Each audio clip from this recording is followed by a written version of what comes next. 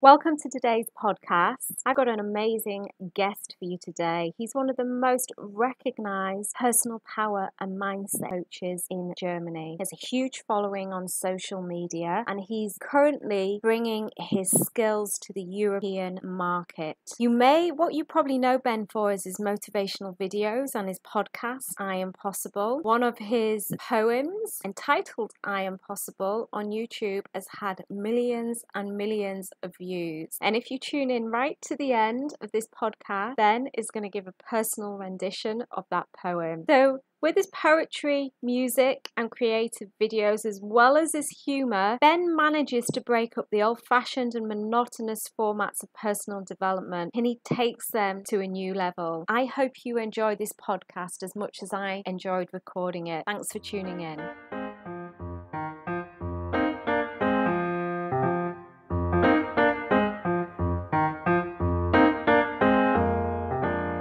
You're listening to the Simply Flawsome Show, a podcast designed for you to listen, learn, and leverage. Please welcome your host, Zoe Turner.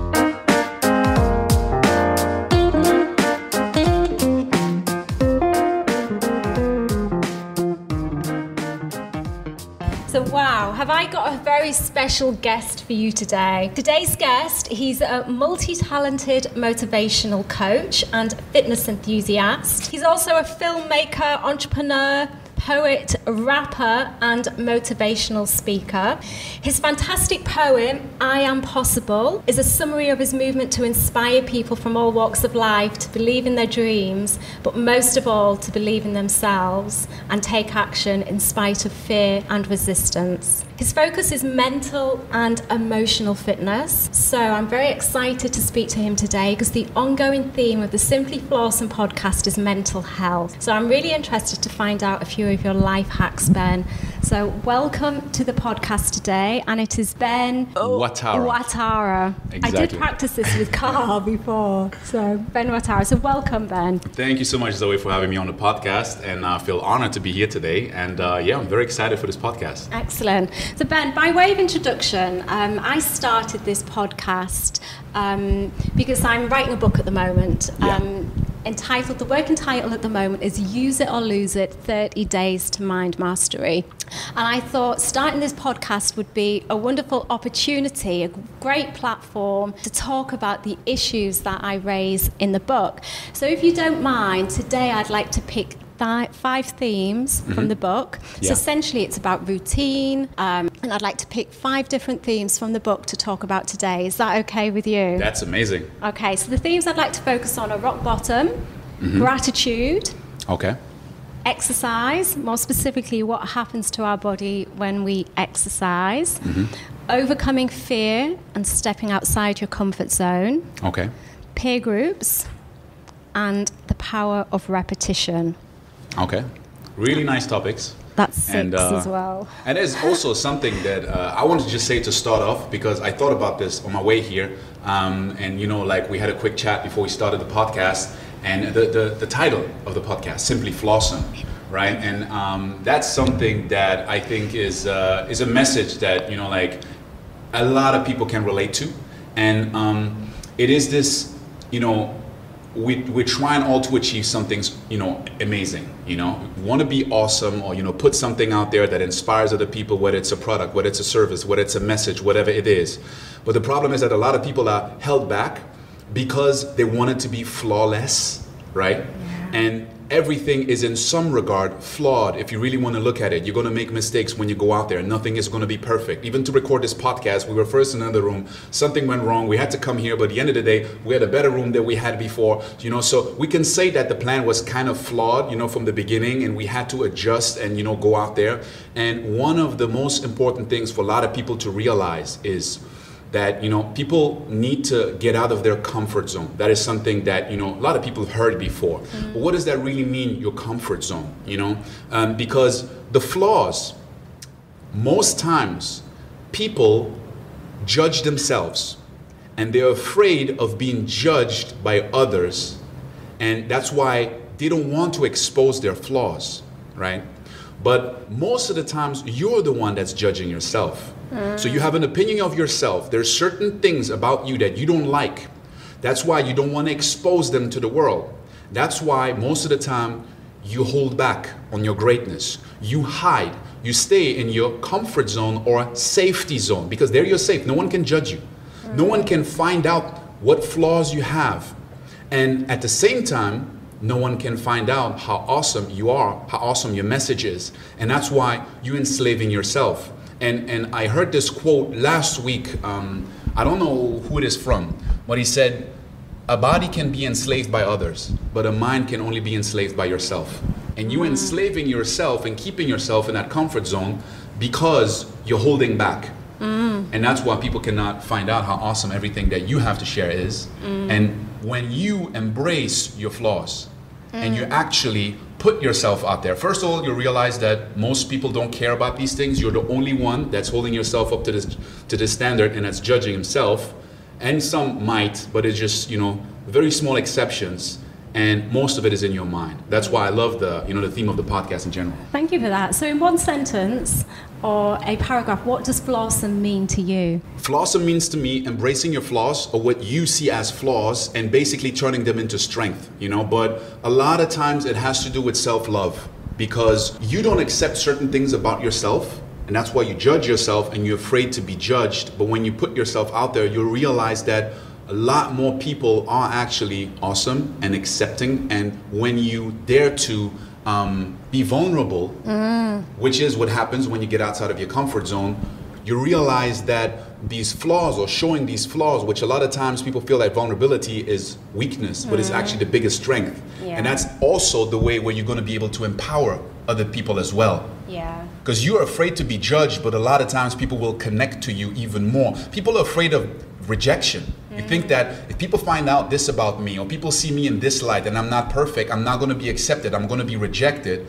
But most of the times when you do that is when you actually connect to people.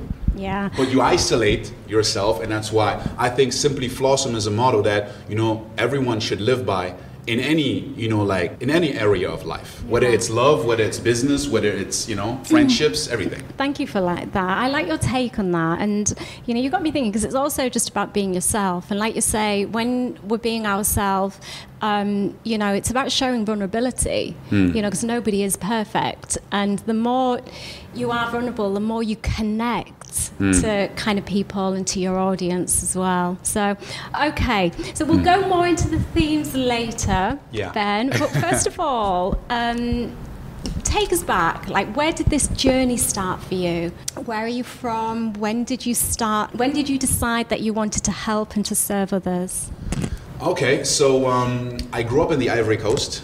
Um, my dad is uh, Ivorian, my mom is German. So um, yeah, I grew up there. First language that uh, you know I was speaking was French and German. Was raised bilingual, and um, most of the things that I teach right now I are like um, techniques or like tools that I needed for myself. Because when I grew up, I was very introverted. I was very shy. I didn't dare to look people in the eye. I was always hiding. I didn't want to be in the mm. middle, like in school. I never, you know, wanted to raise my hand even if I knew the answer. Because even if there was one percent chance that I was wrong, or I just didn't want to be in the spotlight. I didn't want other people to judge me. And exactly that. I had so many judgments on myself. I wasn't aware of it at the time, but um, and I was actually a very good student, and I was very good. But I realized that a lot of um, you know the fear that I had drove me to become very good in certain areas. Yeah. Right. Because that's the thing. You want you don't want to be weak because you're so afraid of judgment that you start to become good at everything, which Yeah. can you know like create a certain level of success, but then it's driven by fear. And at the end of the day, it doesn't matter how many people compliment you and how many, um, how much success you have, as long as you keep judging yourself, you're never free of it, right? But that, that was like in my childhood. Then um, we left the Ivory Coast when I was 12. You know, my dad is an entrepreneur, started his own business, so we moved. For me as a child, it meant I'm, you know, leaving behind my friends, the school. I'm coming into to Belgium, a completely different system, school system, you know, different people. Now I'm the only dark-skinned kid in the class, you know, which now it's impossible to hide, you know. So I'm like, everyone's like, where are you from? What's this? What's that? And it was so uncomfortable for me, and and and then I tried to fit in, right? Because I didn't want to be excluded So I had to figure out, okay, how do the rules work here? How do, how can I adjust? How can I adapt? Things that were cool here are no longer cool here. Things that were funny here are not funny here. So basically, like learning a new language, the environment. Now you adjust to the environment.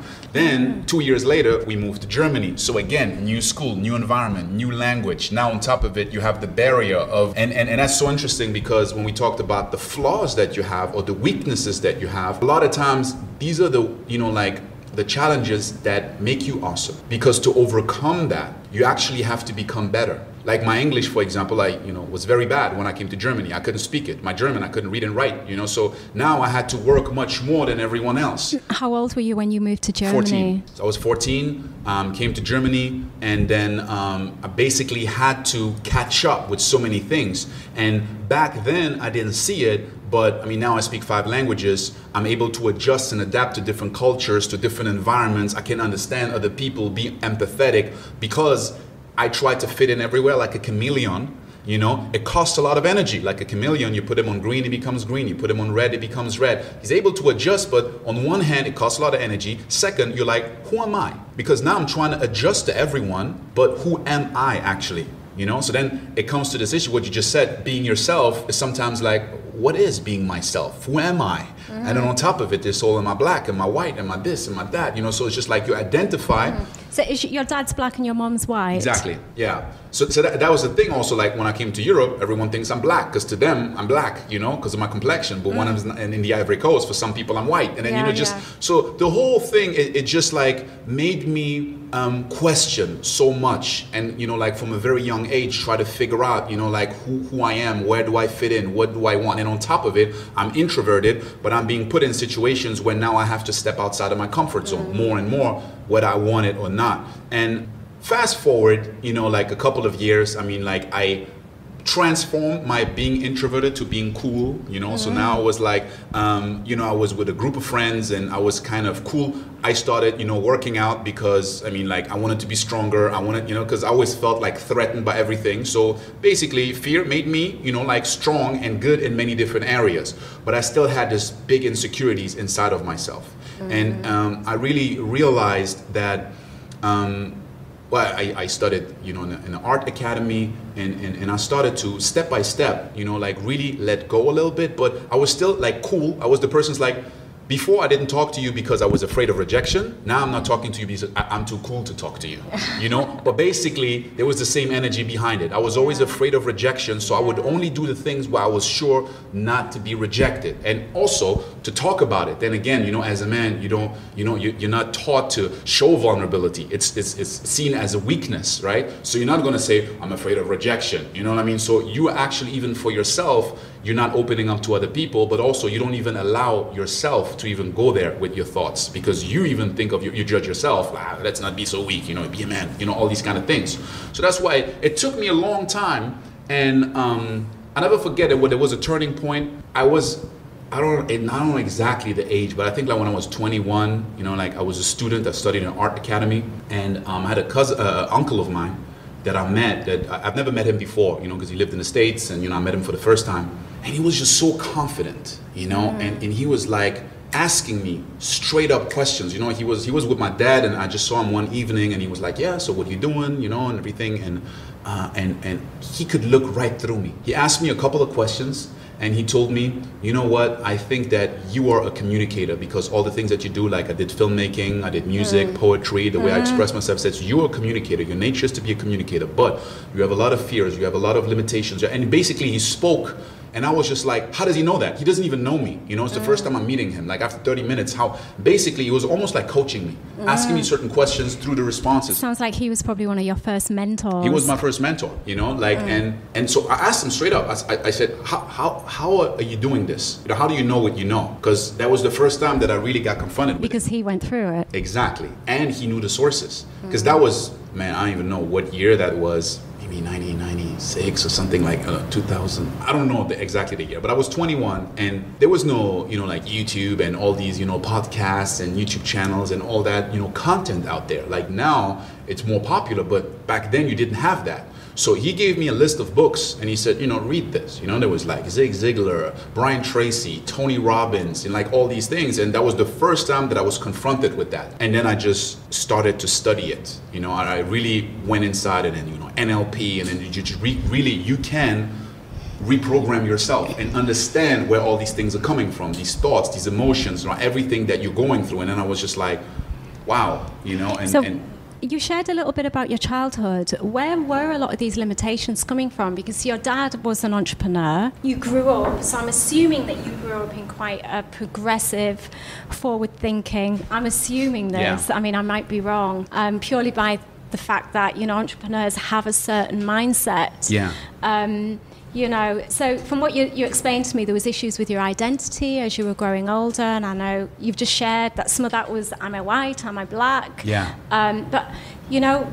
where did a lot of these limitations come from, would you say? To be honest, I don't really know where exactly they came from. I'm sure they came from the environment, some assumptions that I created myself. Because I mean, that's something that I do. I work with a lot of people to, you know, really release their limiting beliefs. And a lot of people think that they have to go into their childhood and really understand what was the issue, what was. But at the end of the day, it's just important to identify what's there. Is it really true? And then work with that and release it you know based on the informations that you have now. Mm-hmm. Because there's so many things that are said in the environment. We pick up everything. Like no one remembers how they learned their first language mm-hmm. because they just picked it up from the environment. But with that you pick up habits you pick up behaviors patterns. Your beliefs about money about yourself about you know maybe you know you try to do something and your mom said like don't show off you know like be more humble you know don't be you know whatever it is you don't remember exactly where it came from. Maybe my younger sister was born. I have a you know two year old younger sister. Maybe all the attention came on her and then I, I don't know what it is because certain beliefs you create on your own.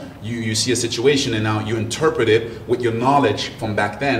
And the problem is that subconscious beliefs they're so strong because they just come up as emotions we don't really know what the thoughts are behind them and then we don't question them. And that's why it's just like i was able to and you know there, there's there are many systems that you can use to really release that without necessarily needing to go back into the past and really understand it. So i don't know exactly what it was because i mean my sister grew up around the same environment and she didn't have the same limitations she had other limitations. So it's very individual on how we see reality how we interpret it. Even identical twins that grew up in the same environment can have completely different mindsets around the same topics right? Because it's mm. all how we filter it through our minds now it's important to go in and ask ourselves is it really true? And in what areas is this limiting me? Because they're all lies that we're telling ourselves in our own mind. And now we're using the environment what someone said as proof to justify that belief. It's just like a tabletop and now you have the legs and now you're just mm. like oh but this person said that and this happened to me and no but i got rejected when i did this one time. So now you're kind of reinforcing that mm. belief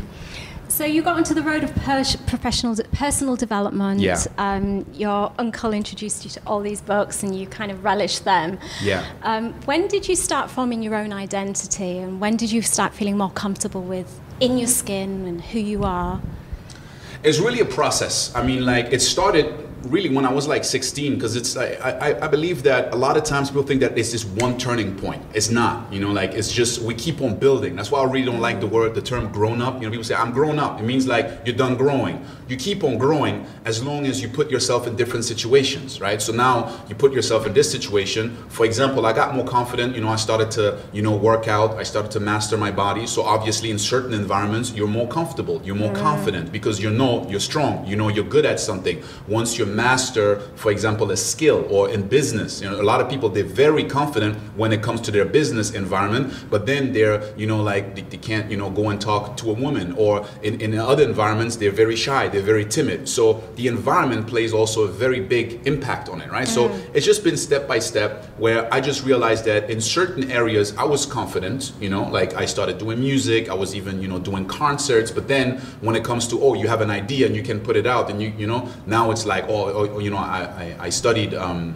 videography, you know, in the art academy. Now going out, for example, as an entrepreneur and, you know, offering your services and asking for money and asking for more money, for example. And then it's like self-worth, like all these things. So it was all a gradual process. And I used and started to implement the techniques that I was learning in personal development and apply them immediately. Because that's the thing I see that a lot of people, um, and and that might be a problem of our time now because there's so much out there. People are just consuming and over consuming, mm. you know. And then back then I didn't have that much, you know. So what I found, you know, I started, you know, working with some, you know, audio programs from Tony Robbins, for example, or Brian Tracy, and I would just take like two sources and then dive in and then apply it you know? And i would go out you know? So i had a friend of mine and we started to uh, it was like you know door to door kind of a, as a product that we were selling. And, and i heard brian tracy that he said um, you know if there's one thing that i would teach my son is sales especially door to door because you learn how to you know handle rejections. I heard that mm-hmm. i went out and i did it you know? Because that's yeah. the thing. You can intellectually say oh that makes sense. You never do it and you feel that you understand it but you don't know anything unless you do something.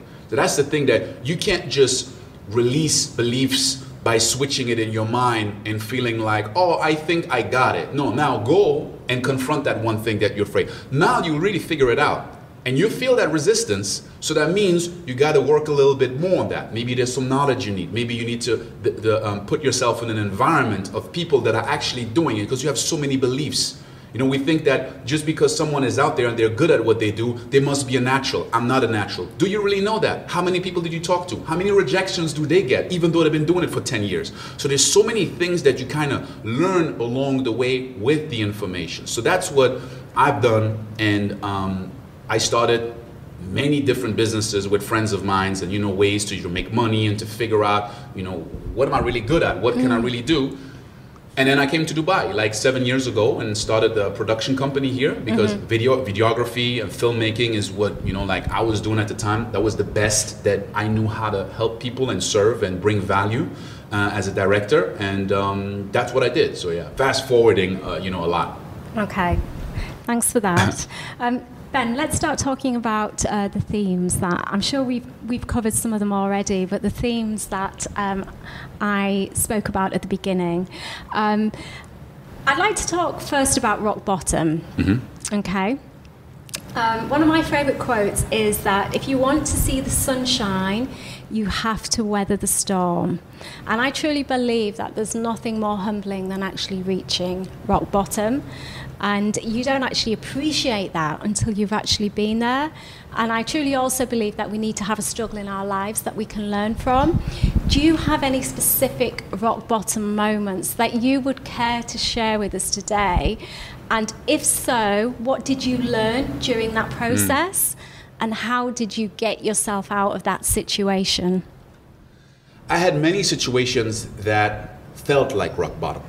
Now I'm going to um, explain on that because I really believe that it is just in our minds a feeling that we are at rock bottom.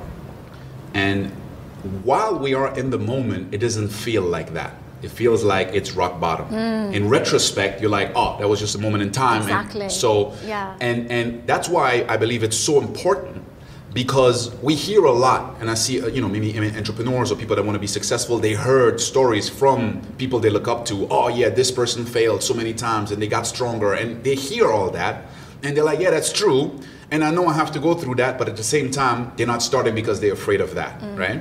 And um, so uh, one very specific moment was i mean i came to dubai um, started up you know a company in abu dhabi with a business partner. Didn't turn out the way i wanted and basically, I left everything behind, came here, and um, I, because we were in Abu Dhabi all the time, I didn't really spend that much time in Dubai. That was like the first year, so I didn't know that many people.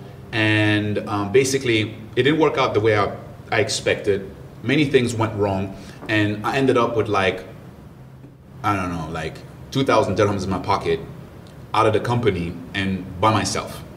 And I was really, really thinking, okay, I'm just going to go back to Germany you know? And uh, that's something i think a lot of people in dubai can relate to.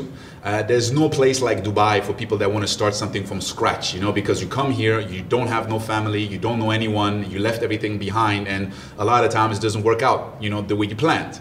Um, but you know so so basically you're jumping and learning how to fly on the way down. And, and and i was there and i was just literally like for two three weeks feeling sorry for myself um, feeling like I've lost everything. I don't have anything, and and and that was basically um, a point where I switched yeah. because um, I was sitting there watching Netflix. I remember it was uh, Spartacus. I think I was watching the series and just just just to not think, you know, just numb your mind and ordering pizza and, mm. you know, just sitting there feeling sorry for myself and why did I do this? Why this? Blaming other people like like that. Acting like the victim. Exactly. I love the time frame that you sorry for interrupting, but mm. I love the time frame that you put on that, like two to three weeks. Yeah. Because whenever I've had those moments, it's normally about two weeks, one mm. to two weeks. And then I just think, Zoe, get a grip yeah. get a grip you know how long can you like play the victim you know and i'm not kind of like um,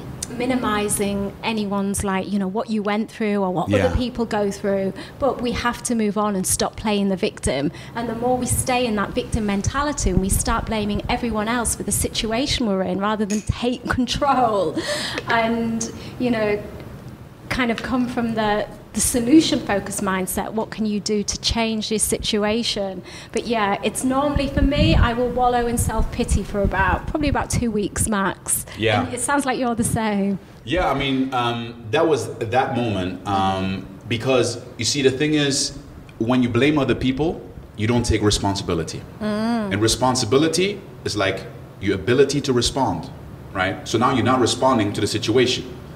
You're trying to put give other people the power basically because it's his fault if this happened or if that will change maybe luck you know something will happen and then you know everything is going to get better. So because i've had all the theory and that is very important because i was going through and i studied all the content and everything about mindset and everything about you know emotions and thoughts and it's like your emotions are created by the questions you ask yourself in your own mind. If you ask better questions then you get better you know answers so I was just like, okay, what are the questions that I'm asking myself? What are the thoughts that I have in my mind? To actually just be aware of it. Because that's the thing, you're not aware, you're unconscious. So I ask myself, okay, one second, what's good about this? Because you never ask yourself, what's good about this situation right now? Like earlier, we went another room and then we had to move, but now we got a better room, right? So actually, it was good in retrospect. So I'm asking myself, okay, what's good about this? And I start to ask myself, okay, what's good about this? I'm here in Dubai. When I came one year ago, I didn't know anyone. I didn't know how anything worked. There's um, so many opportunities that I have right now that I'm not even chasing. Like, what do I have? Because I was like, I have nothing, right? Because I, I don't have no money right now. But it's like, well, what do I have? And I started to look at it as that, okay, you know, like I have skills. I speak five languages. I'm charismatic. I can go out and talk to people. I have like, and, and I started to really write down everything that I have. And instead of looking at what you lost, looking at what you can gain, instead of looking at what's bad, what's good, and just ask different questions. And you go in there, and I started to write everything down. And then basically, um, you feel it in your body because all you do is projecting.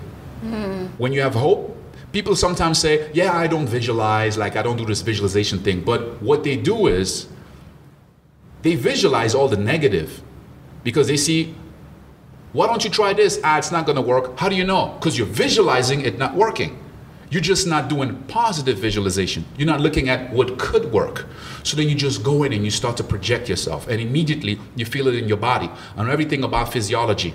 I didn't work out for like two three weeks, so I I just stood up, went outside, threw away all the food that you know like I just I just had ordered and you know like put in the fridge.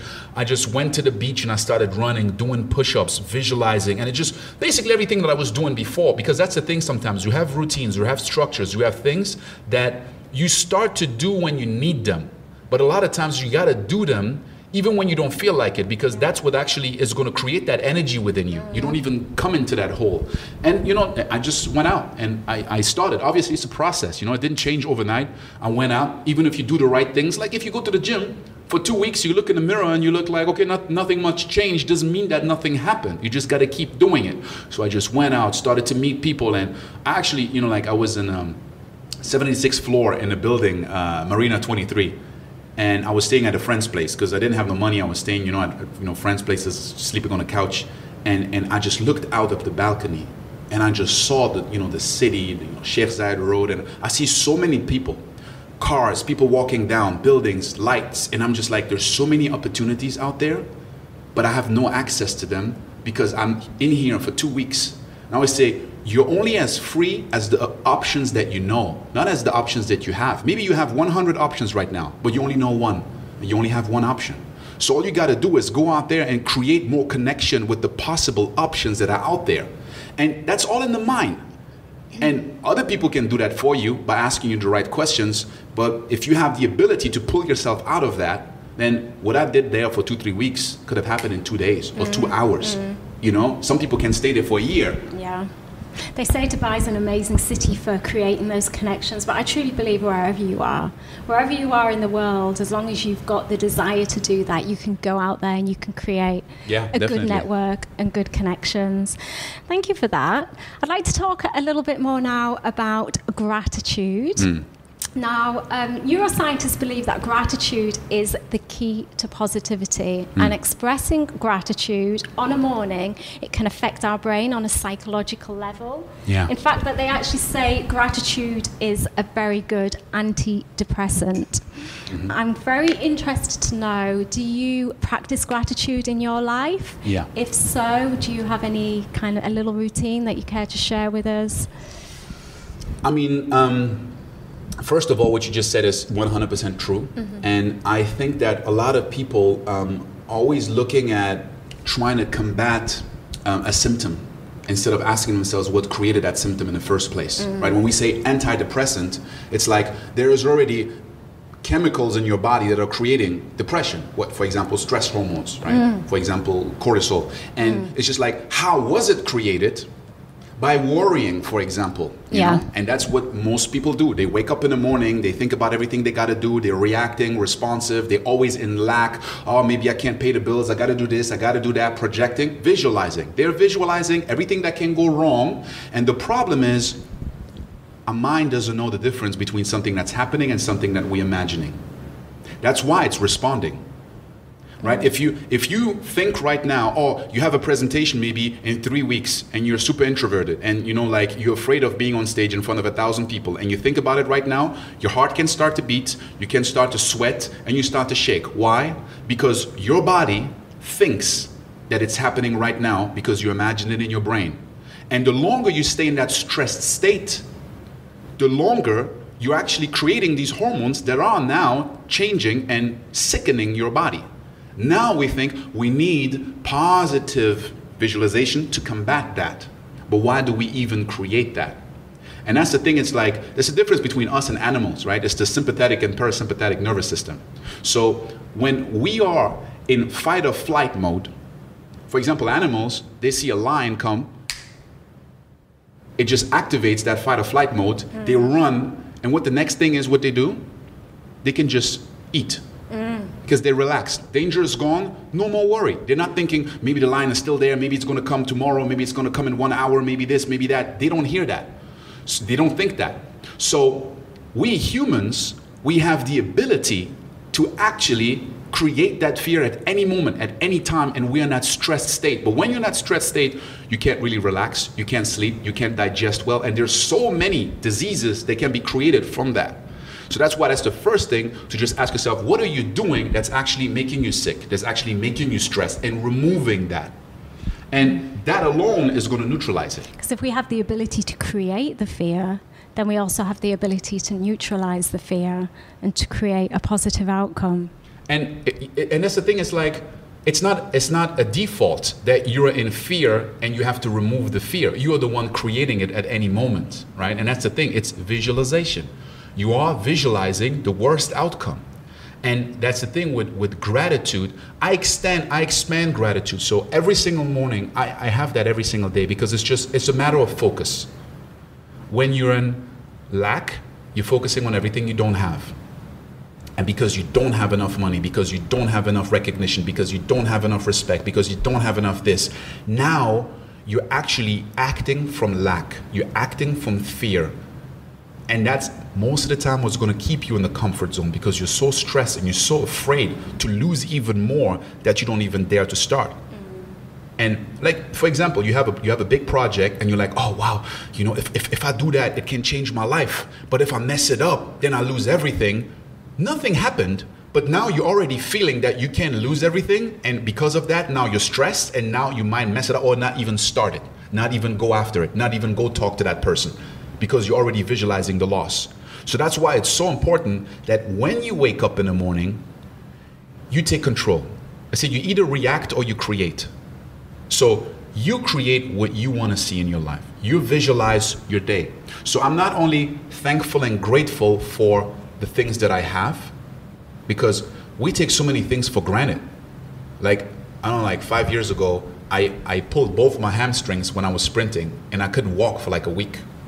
It's a small injury, but then I realized, wow, walking is something that I was extremely grateful for after that week. But then we take so many things for granted. And that's why it's just like I'm thankful for everything that I have, everything that I know, even the time that we live in. Like I'm, there's so many. Like I don't have like something specific. Every single day I come up with like the, you can do that endlessly. And then I actually project myself in the future. And I'm also thankful for everything that's coming, as if it already did, because I'm projecting myself into the future. Mm-hmm. And what it does is it really relaxes you.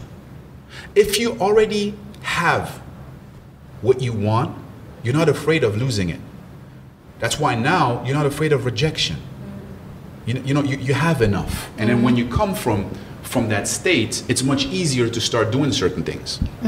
It's like you said, the brain doesn't recognize what you, um, I I don't know how you said that, but the brain doesn't recognize kind of um, what, what hasn't happened yet. So No. if you're thinking about what you want and you're actually living that moment within kind of your meditations or whatever, as though it's occurring right here and right now. Uh, I don't know the scientific wording for all this, but I know it does something to the neurotransmitters in your brain. Yeah. And It's just the environment that we're in. It's just like when we watch a movie. Like a lot of people don't realize it, but if you're really absorbed in the movie, like if there's a hectic scene, your adrenaline in your body goes up. If there's a romantic scene or very sentimental scene, you might start to cry. Now you're so immersed in that movie that you don't realize in the moment where you're really in it that it's not true. Now, like an actor as well, you know, there, there's so many actors, they put themselves in a role, and when you're really engaging in that role, you can feel the emotions of mm-hmm. that person, of that mm-hmm. character, what you do when you project. But it's the same thing that you do in your mind. It's just you're so connected to it that you think is the truth. That's why people replay and replay things from their past that happened that was very painful, or they project it because someone betrayed you, because you lost money, because this happened in the past. Now you see an opportunity, but you're already connecting the fear of the loss and you're feeling it in that moment. That's why your heart is beating. Because your heart doesn't even know, your body is reacting physiologically to the thing as if it was real yeah. and that's why is it but you're creating it we're the biggest like because i mean i studied filmmaking i was a director you are the director of your own life but you don't even realize it mm-hmm. because you're living inside of that movie and that's why it's so important to disconnect. It's what happens with meditation. Because meditation is just creating a distance from your thoughts. And these thoughts are subconscious. This is what you don't have no control over them. They just pop up like that. Mm. That's why there's so many exercises you can do to basically realize what's happening in your mind when you're thinking that you're creating images in your brain and your body is reacting to these images as if they were real. I went through a period in my time, a period of time where I trained my mind, and I have to say I've gotten out of it now, but for quite a long time, I trained my mind to um, express as soon as I woke up on a morning. And when we wake up on a morning, when we first open our eyes, we're not fully conscious, it's our subconscious mind, so we're still in theta state. Um, but I'd programmed my mind so much that after a while, the first three things that I thought about on a morning was right, what am I grateful for? So, you know, after a while, um, you know, after doing it for so long, that is that, was the first thing, first thought that I would think of when I woke up, and um, it's such a great way to start the day because you know it's so easy to start the day on thinking negative thoughts you know especially when you're in that semi kind of conscious when you're still in theta Yeah. and you're not really on, in control of your thoughts it's easy to see what you know what first comes to your mind what is the driver for your thoughts and if it's a negative thought then you've got like work to do Yeah. um, but you can control the mind so that's that's Well, a, you can. It's just because most people are not aware of train it. the mind. Mm. Yeah, you can train it exactly because it's all awareness, right? So that's I, I- believe that one of the biggest things is a lot of people they're trying to just learn one technique or one hack, when it's just it's a way of life you know? It's like when people say what's the one exercise i can do to get a six pack you know? But if you don't understand the principles that are beneath it the exercise is not going to do anything for you mm-hmm. right? So you have many people they meditate and then right after they get in traffic and then they start to curse at the person next to them because they're not aware of what's happening in that moment. And that's why it's so important to have that constantly like the mind will wander and we just bring it back, and it will wander and we just bring it back. And that is the biggest training that we can do on ourselves is just to realize that our reality is created by our focus. Yeah. You just focus on this, and now this is your reality you focus on that and you see something completely different. And again, it relates a lot to filmmaking because that's also, we can manipulate people to believe anything. If I put my camera on this and I just show you this, now you have a completely different story than if I zoom out and I show you the entire picture. Now you're like, oh, that's why this is happening. But we're doing this in our own minds and we just have like these small, you know, glimpses of reality in our own lives and now we generalize and create beliefs and judge other people, judge ourselves, and that's why we're the slaves in our own minds. And I don't know who said it, um, you may be able to enlighten me, but when we realize that our outer world reflects our inner world, then we'd never think another negative thought again. Mm. You know, um, I, I, don't know where. Yeah, I heard it before. From. I don't know who, who said that, but it's very true. Okay, let's move on now to exercise, Ben. You love your exercise. You've got an amazing physique. Um, so, what really happens to the body when you exercise? And um, do you think that exercise makes us happier? Is there a connection between happiness and exercise? I mean, happiness is, um, you know, as a term that is used a lot. I just believe that, um, you know, there, there are many things that contribute to our happiness, but in general, like, um, are, are, just states, right? We have mind, body, and soul, and I believe that everything is important. A lot of people put a lot of emphasis on the one and not on the other. Mm. And when we think about it, it's just like, this is the machine that moves us through this reality right? A lot of people they like to think that they're very intellectual and they're all about the mind and you know but they neglect that they have a physical body.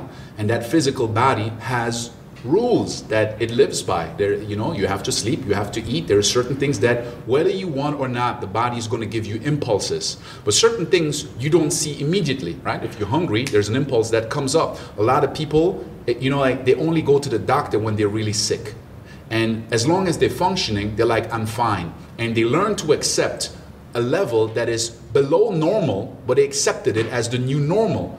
Just because you're not sick doesn't mean that you're healthy, right? And that's again to the, to the symptoms that we, we, we were going at before. You know, instead of not being stressed, because stress is almost like a norm right now, it's like let's try to reduce stress. But we created stress, right? So where does all that come from? And that's why when you just look at the body and you just look at, okay, just because I'm on 20% and I'm not sick, you know, like how can I put myself to 100%? But sickness, when you say you're not sickness, sickness to me is anything that we get. It's, um, it, it just indicates that we have an imbalance in our body. Um, like I mentioned to you, that I'd come out in a tiny little bit of a rash on, on my, my skin. It's not mm. really noticeable, but my first thought was, um, I've put something into my body. So mm. my hmm. first thought was, right, I'm going to eliminate dairy, I'll eliminate this out of my diet, drink more water. Yeah. You know, rather than, I certainly wouldn't think, right, I'm going to go to the doctor and get mm. some, I don't know, cream to get rid of that. It's just yeah. like, right, drink more water. So, yeah, sickness, I believe, is more of an imbalance, that we've got an imbalance within our body which is pretty much what you were saying, yeah? Exactly. And it's like, for example, if we look at, you know, like how our body detoxes, you know, because we need to get rid of toxins that are in our body. Well, 70% of all the toxins that, you know, like exit our body mm. go out of our body through exhalation while yeah. we exhale. Most of us, we don't even breathe properly. You know, so we have a lot of breathing exercises. But if you think about it, we were made to live in nature. We were not made to sit down in front of a computer for eight, nine hours, sit in a car, sit on a couch, and not move. Now, when you're in nature, automatically you'll start to walk. So now your blood is flowing through your body, through your organs much better. You're gonna breathe in, breathe out fresh air. So it's just like a natural state that we were living in when we were in nature. Now you're coming back into this you know life that we're living in. Now we have to go to a gym and we have to create a superficial environment where we actually replicate what we used to do in nature. Why? Because we're living in a superficial environment. So that's why it's super important because not only it regulates our hormones you know when we move our body you have the blood flow it regulates the, ap- the appetite even your sleep you're able to sleep and relax better and so there are so many benefits to working out but it's actually just bringing you back to a normal state where we're supposed to because most people are just so disbalanced in their life but they never realize it until they feel a symptom, which is actually it's too late, right? It's just mm-hmm. like now you have to counteract that, but why did it even get that far? And that's the problem. Like people always live in reaction and not in creation. So that's why I believe that, yeah, exercising in general and everything is, is, is just about putting you in a state where you're able to perform at your best. And that's why I believe in, you know, like mind, body, and soul. That you really have to, you know, push yourself. Just like challenges in your business or in the projects that you do will force you to grow bigger. You know, even if you're talking about something creative, you take something that challenge you on a creative level, you get more creativity with time. So if you put more weight on your body or more resistance on your body, or you're trying to, you know, more more distance, then you're just going to train your body to perform at a higher level. And then for most people, it's just even to come to a normal level. I'm not even talking about athlete and you got to run a marathon and all that. That is also very good because it just pushes you mentally because you need a routine. You do certain things every single day.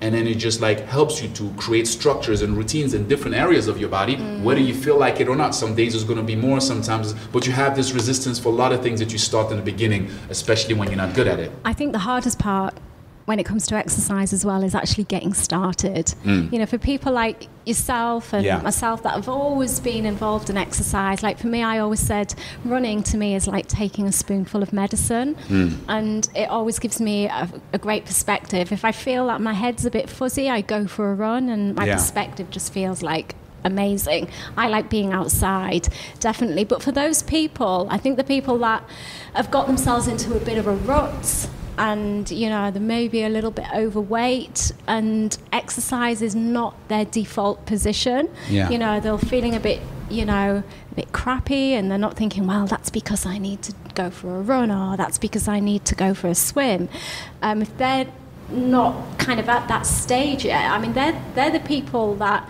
to me like when you see them out running when i see someone that you know looks pretty unfit or oh, they're quite overweight. And i'm not being disrespectful when i say this but Yeah. i always encourage them and, you know and they're the people i think because it's harder for them. I think it's harder for them to make that first step. But like you were saying then once you take that first step and the more you do it just gets easier and easier and easier until it becomes your default position. Yeah, and I think it just be it's just as hard because we judge ourselves and we're afraid of judgment.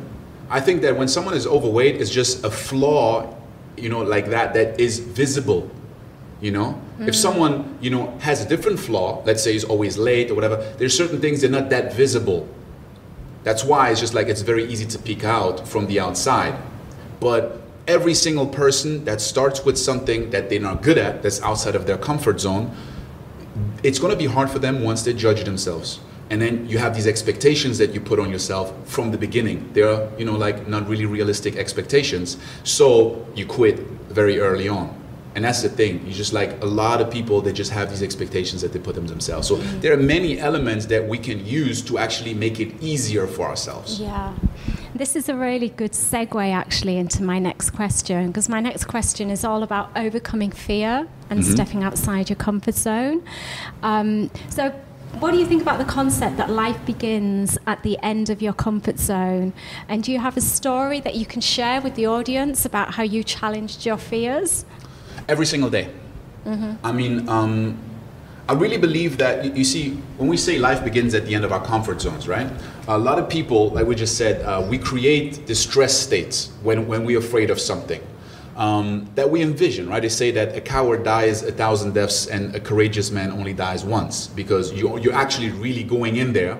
And most of the times, it's not death that is awaiting us it is growth you know and, and we're judging ourselves too much so um, i mean there are so many situations where i had to put myself out of my comfort zone and actually you know go on stage for the first time or you know just put myself out there for the first time or any any, entrepreneur like the day that they say okay i want to do this and i want to start and your heart starts to beat very fast which means you're alive so that is actually where life starts. You know, a lot of people, I, I honestly, um, if, if you're constantly in a stress state, then it's not good. I mean, lifting heavy weight or pushing your, your body to a limit is a stressed state. But when you do it for a certain period of time and then you recover, that's when you grow. If you go out and you work out five hours a day without recovery, that's when you actually damage your body. So when you put yourself in regular intervals at the edge of your comfort zone and you do something where, you know, if, if you if you choose a goal and you're like, ah, I know I can do that, it's probably too small. Now when you pick something when you're like, you know what? I might fail at that. But I'm gonna go for it. Now all of a sudden you're alert. Now your adrenaline goes up. Now you feel alive. And I actually go for that. I used to want to evade that feeling. Just like, ah, once it feels like that, let me go a little bit, little bit back. Let me wait a little bit. I'm not ready yet. And people always said, I'm not ready yet. They're waiting for that feeling to go away. Maybe if I prepare more, maybe if I talk to more people, maybe if I read more, maybe if I learn this one new technique, maybe if I find out what happened in my childhood and this one limitation is gone, then this emotion is going to be gone because and that is you know like the, the, the belief that a lot of people have and what's why it's so important to surround yourself with people that are where you want to be. Because we have beliefs about people that are there before I went on stage for the first time, I saw people that were on stage talking comfortably and you know with a lot of confidence and I thought they're not nervous. They're not feeling you know any resistance. They just go on stage just doing it like this. They just talk in front of the camera. They can't do all these things. But i feel this fear so i'm not ready yet. But then you surround yourself with these people. First of all they tell you how they felt the first time they go in. You have people that have been doing it for 10 times and say i still get nervous. And what does nervous mean?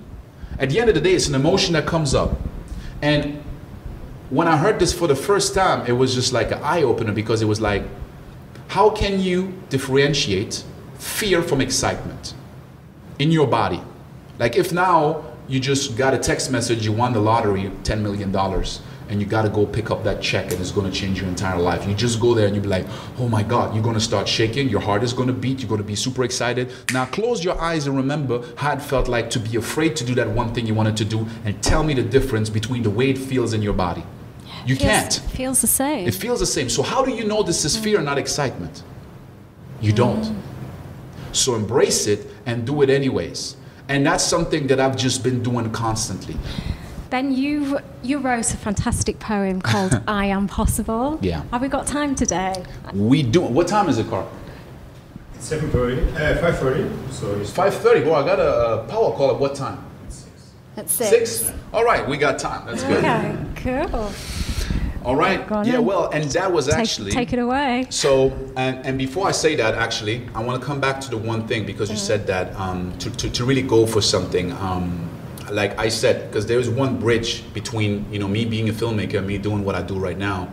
Um, because, like I said, I started like 15 years ago to really you know with self development and you know like for myself because I needed it for myself. Mm. And I realized that I was so passionate about this. I was really almost obsessed to learn more about psychology, about how I can really change because you have these limitations that you have in your own business, in your own life, and you learn that you can overcome them. It becomes like a game, but you still want to learn more and experience. And I actually started to develop my own tools for myself. And I, I recorded a video. It was a project, a video project, like around seven years ago, like right at the time when I came to Dubai. It was a project in Germany where we had to do like a portrait of like 10 um, young people that are living in Germany with migration background. So they're German, but they're from maybe Turkey or Iran or African and half German. Um, but that are not shown in the media. They're not really represented in the media. You usually see people that are not integrated, people that are criminal or whatever. You don't really see a Turkish doctor or a black lawyer or whatever, right? So we're supposed to do these these these um, these portraits, and the woman in charge told me, do nine portraits of these people and do one of yourself. And I was first, I was like, okay, you know, do a, port, a video portrait, right? So it's just like a around 20 minute video. So I did it, and a lot of what I was thinking, my whole mindset flew into that video. A friend of mine saw it and I said, you have to upload it to YouTube. I said, okay, seven, eight years ago again. So YouTube wasn't what it is now. So I didn't think much of it. So I just uploaded it. I didn't have no expectations. I didn't. I thought maybe a couple hundred people will see it that you know that I sent the link to, and so I just uploaded it to YouTube. Forgot about it. I didn't have a website. I didn't have a Facebook fan page. None of that. Like all influencers, all these things that was like didn't even exist. Two years passed by, Now all of a sudden, a couple of people started to share the video, posted it on Facebook, and you know, one famous singer in Germany reposted the video, and now all of a sudden, within one week, I'm receiving like so many friend uh, Facebook friend requests. Like I reached like 5,000. I can take more people, and people are messaging me. Wow, your video is amazing. It changed my life. I've been watching it every single day. Every single day, I received emails. I received messages. People like write a book. Um, where do you have more videos? Do you have a podcast? This, that, and, and and I was just like overwhelmed a little bit. I was like, okay, you know, like I mean, like I have my company. I'm doing this film production thing, and you know, this is just my passion because I was reading books, studying, doing all this on the side on the weekends, and just for myself. And then I was just like, started to play with the idea. And then, you know, a lot of influencers from Germany started to contact me because they had a podcast and a YouTube channel. They want to interview me. And, you know, like, so another year passed by. And I started to see, you know, so many influencers. And I was just like, this is actually what I want to do. And on top of it, it's my calling. Because this thing has, has been calling me. People Wow. are messaging me every single day. Mm-hmm. And I was just like, not embracing it because somehow in my mind, I had a different idea of what I wanted I to do. I didn't realize actually the story behind this poem and how it seems that this poem has actually been the springboard to you doing what Yes. you're doing now. And that's so interesting because there's so many people out there like content producers who've got amazing content like you hmm. that maybe they don't want to upload and it can actually stay like undiscovered for Yeah. a while but all it takes One is video. one person to share it Yeah. Like maybe you know someone who's got a lot of followers on Facebook, on Instagram, or whatever to share that, and Yeah. then that's it. And the opportunities that that can bring you in terms of kind of being a motivational speaker, in terms of maybe getting a book deal or or whatever. So- And that's what's crazy because, again, I didn't plan to do it.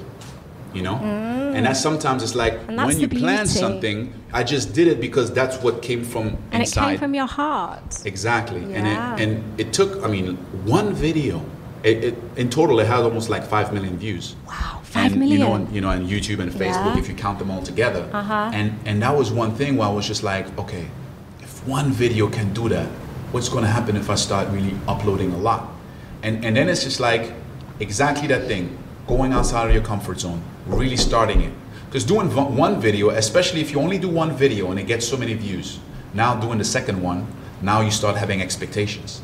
Now you start thinking like, oh, what if I do the second one? It's not as good as the first one. Now I got to top this, you know. Now everyone is looking at me. It's like to them, I'm like the motivational speaker, and this and I was just like, wow, they have all these. expectations. So then, I wrote this poem, "I Am Possible," within like, I don't know, like an hour or two. I just wrote it down like that. I was literally just there, and it's the first time that I wrote something in English because before I only wrote everything in German. And basically, after I wrote that poem, I decided, you know what, I'm closing down my company.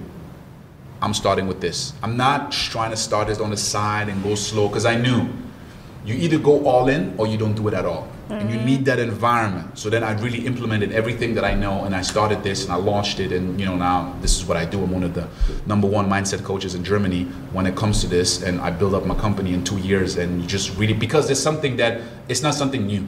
I've been doing it for 15 years. I've been ready for so long. It's just like now I'm actually just putting it out there, mm-hmm. right? So I wrote this poem I am possible. And it goes like this. Sometimes I slip and fall. I have to dig and crawl and feel so frustrated that I slam my fist on walls. I spent years in the shadow, doubted myself. And no one came to my rescue when I shouted for help. And I always knew what to do, but I didn't do what I knew. Today I win or I win because I got nothing to lose.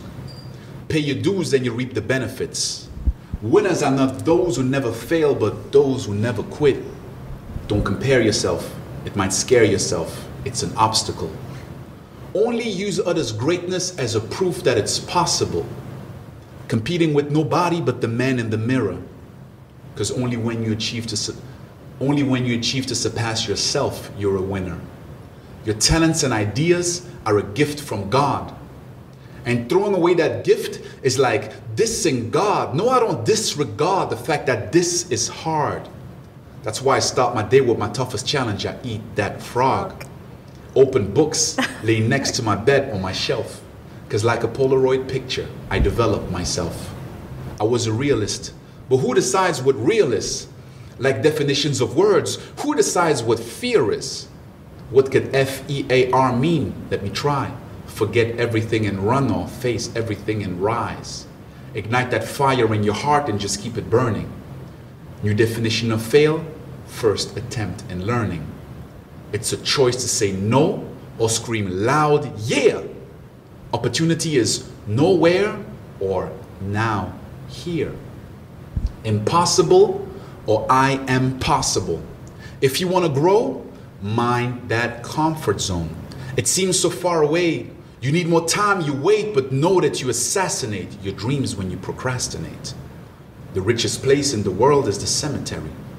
People now dead and buried that could have been legendary. Dreams never lived, ideas never shared, never created, innovated out of fear, never dared. As long as you learn from your errors, it is not a mistake. You don't have to be great to start, but have to start to be great. So start today and say, I will not delay. And every obstacle in my way will be knocked away. Put your hand on your chest, feel your heart beating, and say, I'm scared, I want to run, but I'm not leaving. I might fall and get hurt, but will not stop dreaming because I know eventually every wound stops bleeding until I stop breathing. I will not stop to grow. And always remember that I am possible. Until I stop breathing, I will not stop to grow. And always remember that I am possible. I love it. Thank you. I love Thank that you. poem. It's fantastic. I love the uh. Brian Tracy. Eat Oh, that yeah, frog yeah, eat that well. frog, yeah. I used to eat that frog every morning when There. I worked in financial services. Okay. I used to eat that frog by picking up the phone because it was the wor- the only thing that I didn't want to do. Hmm. So if any of you don't know, eat that frog means do- doing something that you don't like doing first thing. That thing that you're going to put off all day, get it done right at the start of the day. Yeah, it's basically Yeah. said uh, because that's also when I heard from Brian Tracy. He's like, if everything, if every day you had to eat a live frog, that would probably be the worst thing you would do that day, and everything else would feel like easy after that. So Yeah. eat that frog. Oh, thank you so much. Oh my God, we've been going for over an hour. I did have another question, but you know what? I think on that note, Ben, I'd just like to thank you so much for being such a fantastic guest me. today. Um, I'm sure everyone will agree that we've got some, you know, real gold from Ben today. And guys, um, if you enjoyed this podcast, please like and please share. Thank you again, Ben, and thank you so much to Rove Hotel in Dubai Marina for allowing us to use this amazing venue to host all the podcasts. Okay. Thank you so much for having me. And if you want to know more about me, check out my Facebook, or maybe you can link, you know, some of my links down there. And, uh, Definitely, I yeah, will do that. So I'll link Ben's Facebook and Instagram. Amazing. and Thank you so much, Zoe. Thank you.